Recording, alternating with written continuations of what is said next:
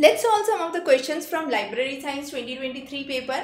Now the complete solutions and uh, the notes have been prepared by a NET qualified faculty. So you can refer that for more details which we would discuss towards the end. Now this is a first topic which talks about Creative Commons license which is a non-profit organization that enables sharing and use of creative and knowledge through free legal tools and Creative Commons is the license which is called as the CC license. There are range of permissions which talks about remix, talks about adopt adopting commercial use, non-commercial use and so on that you would discuss in detail in the notes. The next is which of the following is an informal communication. Now this is a grapevine communication also important for your paper one. So this content is uh, the kind of communication and the concepts related communication is applicable to both paper one as well as mass communication. Even the section on research lies common between the two units, uh, the two sub two papers. The next is during the Mughal period, the head of the library was known as Muhatin.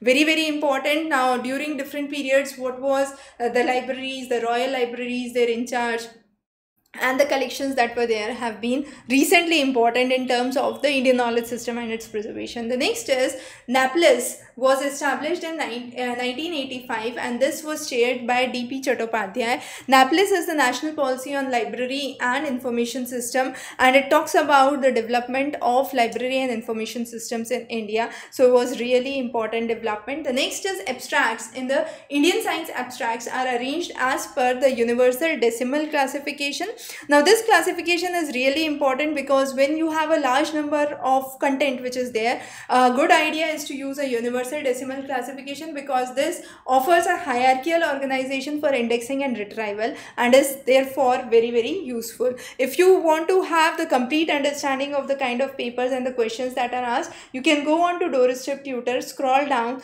go to Library Science, uh, Library and Information Science. You do have the video course, the online test and study material material and then you have the question bank so um, there are various topics which are available here so the notes for those and the question banks for each of the topic is available. You can refer that for more details and information and then you do have the content for paper 1. In case you have any questions or queries, feel free to connect back to us. Thanks for joining in today. Have a wonderful evening.